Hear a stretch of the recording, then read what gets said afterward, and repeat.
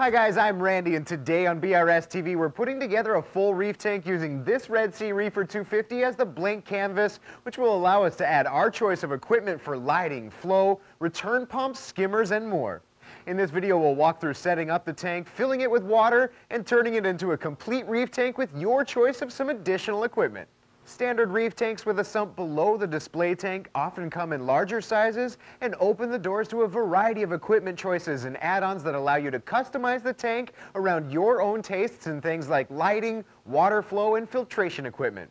This type of setup is probably the most common amongst the reefing community as it allows you to research your favorite gear to make more informed decisions on what matters most to you and your desires for a reef tank. Along with that, having a sump to house filtration equipment like heaters, skimmers, media reactors, and others means that you can keep them out of the display tank and out of sight, leaving you with a cleaner and to some a more eye-pleasing tank. Standard reef tanks also give you the ability to add more redundancy and safety mechanisms to the system, like two return pumps instead of one, multiple heaters, and provide extra room for probes, auto top-offs, leak detection equipment, and fully featured aquarium controllers. The entire selection of the Red Sea Reefer Tank series are prime examples of how robust a larger standard rimless reef tank can be, while also remaining elegant in its design, features, and aesthetics, with things like ultra clear beveled edge glass and a sturdy glass sump with plenty of room and baffled flow patterns that help to reduce the noise and micro bubbles from some equipment. The Red Sea Reefer tanks like this Reefer 250 is overall a much nicer looking standing combo than your standard commodity tanks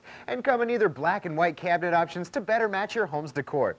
Along with that, all your plumbing is pre-assembled and includes features like a fine adjustment gate valve, a silencer pipe for the main drain, and a soft hose return line that helps to silence pump vibrations, as well as flexes to meet the needs of your specific return pump choice. All the Red Sea Reefer options are rimless, include sump filtration systems with glass ATO reservoirs, and come in five sizes from the Reefer Nano at 28 gallons to the Reefer 450 at 116 gallons, as well as the XL, Double XL 650, and Double XL 750 with a total water volume of up to 200 gallons. Finally, the Red Sea Reefer series is rounded out with two peninsula-style look-through tanks for those who may want to use the tank as a room divider or add a different perspective to the standard reef tank. Each of the Reefer models, with the exception of the Reefer Nano, are also available as a deluxe package, which include one or more of the Wi-Fi controlled AI Hydra 26 LED light fixtures with customized mounting brackets to help you take the guesswork out of what light to go with. So the only difference between the standard and deluxe options are the inclusion of the AI Hydra LEDs, which are certainly one of the better options for tanks this size. At the end of the day, these are very sharp looking tanks and great alternatives to less attractive commodity tanks, and they don't have a year-long wait that often comes with going with a custom tank. The Red Sea Reefers also serve as a blank canvas for your personal choices for equipment and doesn't tie you to a specific line, which are really ideal for immediate to advanced reefers who have specific desires for how they want to run a tank. As I mentioned earlier, we're going to set up a full reef tank using this Red Sea Reefer 250, which is just under 36 inches long, about 20 inches front to back, and the display itself is right at 21 inches long. The tank and stand together rise at 55 inches tall, and the sump and tank volume holds a total of about 54 gallons. These front and side glass panels are made from ultra clear glass with the sides measuring about 10 millimeters thick and the front at just about 12 millimeters thick. The real draw to these Red Sea Reefer tanks is that you can outfit them with pretty much any of your favorite reef gear. So for this setup, we're going with two Aqua Illumination Hydra 26 LED fixtures, which we really like for their built-in Wi-Fi controllability straight from your phone, tablet, or computer. And two of them can provide more than enough light to cover the entire tank, as well as provide ample par for whichever tank type you go with. To mount the lights, we're going with the stylish and easy HMS mounting arms, which are a breeze to put together and hide the light cables neatly out of sight. One thing to note here, the Red Sea Reefer Deluxe version will include its own mounting brackets, which flip up and out of the way for easier access. So if you like these Hydra LEDs, you're likely better served by opting for the Deluxe version. Our return pump choice is next, and we opted for the SynchroSilent 3.5 from Sicce to provide us with the 660 gallons per hour flow recommendation from Red Sea. We also want to add a skimmer in the large chamber of the included sump, in which case the Somatic 60 was our choice for its space-saving size, low cost, and because it utilizes a Sicce pump, which is one of our favorites here at BRS. For added flow in the tank and to help keep detritus suspended off the bottom so it can make its way down to the filtration in the sump, we're adding two Ecotech VorTech MP40s. We really like how simple they can be to maintain where we don't have to pull anything off the tank other than the easily removable wet side, clean it, and drop it back in place. On top of that, we can adjust the flow by using their built-in intelligent programming and wireless communication to pretty much meet any tank type we aim for. To keep the tank at our target temp of 78 degrees, we'll want a heater that's at least 200 watts, so we're going with the Neotherm 300 watt heater, which is very easy to set to your desired temp, and the one heater we found in our BRS TV Investigates testing to be super accurate in its temperature swings between on and off cycles with a variance of a pretty amazing 5 hundredths of a degree. To add some substrate and rock structure for that slice of the reef look, I'm going to add 40 pounds of Aragalive special grade sand and about 50 pounds of Reef Saver rock. Finally, we'll need some filtered or purified water and salt to fill the tank, in which case I'll collect water from our own reverse osmosis deionized water filtration unit and use the Red Sea salt mix in the blue bucket. Along with that, we'll kick off the beneficial bacteria colony with an 8 ounce bottle of Dr. Tim's one and only. RODI water is always best, but if you don't have your own RODI unit, some reefers opt for water from their local fish store or even some filtered water from the local grocery store. Assembling the stand is pretty straightforward, especially for those of you who have built this type of flat pack furniture before, and took me just over a half an hour from start to finish. However, unlike some DIY furniture, Red Sea added their touch with cam screws that thread tightly and securely into plastic retainers to keep them from stripping and for better weight support, as well as rubber covers rather than stickers to protect the metal hardware. When the stand is put together, you'll notice a vented back panel to reduce humidity buildup in the cabinet, as well as weld out sections in the top and the back to more easily access the plumbing down to the sump, as well as to allow for even closer placement near the wall. The stand also includes soft padding on the sump section for protection, and with the sump installed, leaves you with 12 inches of space next to the sump for additional storage or equipment. The tank and sump comes together even quicker where you'll probably want to enlist the help of a friend to put the tank on the stand and then add the three stand pipes into the overflow. The instructions make it very easy to determine which pipe goes where, which includes the return line and a primary and emergency drain. The bottom of these standpipes are threaded in two places, one for the lower plumbing and one to create a leak-free seal between the tank and the upper plumbing. Now I can slide the adjustable nozzle down onto the overflow, thread it onto the return pipe, and slide the silencing attachment to the primary drain.